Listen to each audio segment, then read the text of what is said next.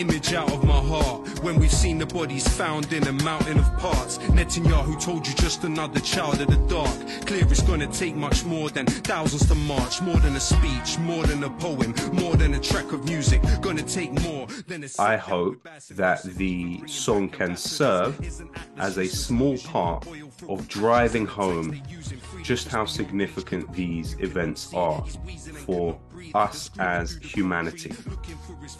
This is a really horrific chapter in human history when it comes to this this issue of control and attempt to subjugate uh, a population. Israel is a terror state, terrorists I terrorize. I testify my television, televise, I'm telling lies. This is not a war, it is systematic genocide. But whatever they try, Palestine will never die.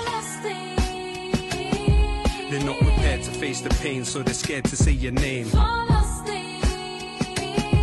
They're not prepared to face the pain, so they're scared to say your name. Israel has no place dictating what art is and isn't acceptable, let alone what journalism is or isn't acceptable anywhere else in the world when it comes to covering this horrific war.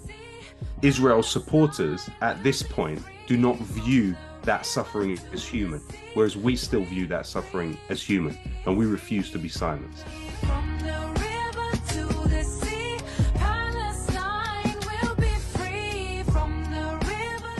What you see in Gaza today is a testament to the human will and drive to survive no matter what the conditions may be.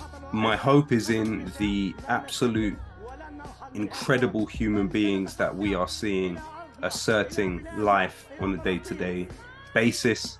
Um, my hope is in the fantastic work that others are doing outside of Palestine to challenge this. My hope is in us being able to document what is happening as it happens. Um, that's where the hope is.